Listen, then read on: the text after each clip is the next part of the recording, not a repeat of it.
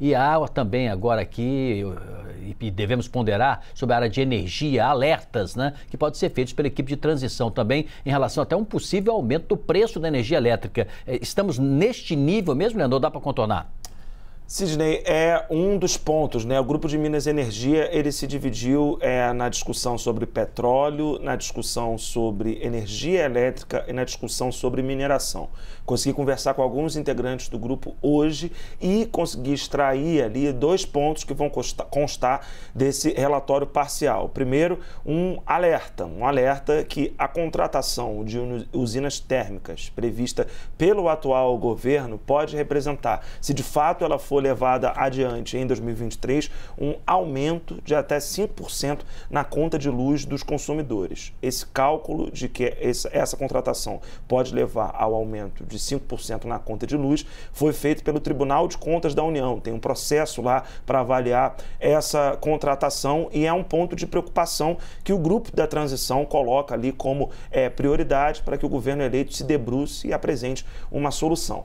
Outro ponto que vai estar nesse relatório, uma nova discussão sobre a questão é, da isenção ali tributária para gente, para as pessoas que usam energia solar, uma maneira de compensar melhor os usuários de energia solar no país. Rever um pouco dessa legislação, questões ali que envolvem sobretudo o diálogo com Câmara e com Senado também.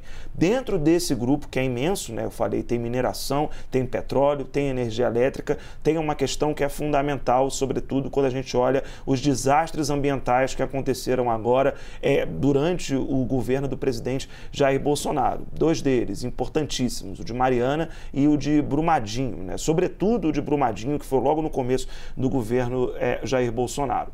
Foi incluído nesse grupo da transição o movimento dos atingidos por barragens, que tem essa preocupação, ainda lidando com os efeitos que Brumadinho causou ao Brasil, causa até hoje, sobretudo ao estado de Minas Gerais, todo mundo que perdeu é, seus parentes ali na região. Eu conversei com o Robson Formica, ele é desse movimento, ele elogiou né, o fato dele ter sido incluído na transição, mostra uma disposição do governo em discutir a questão energética e a mineração com os movimentos sociais e ele sugeriu que o relatório ele traga ali uma incorpora, incorporação de temas como a capacitação dos próximo a essas áreas de barragem e também comece a considerar para a questão da discussão sobre energia a questão também das mudanças climáticas. São pontos fundamentais que esse grupo da transição está trabalhando também.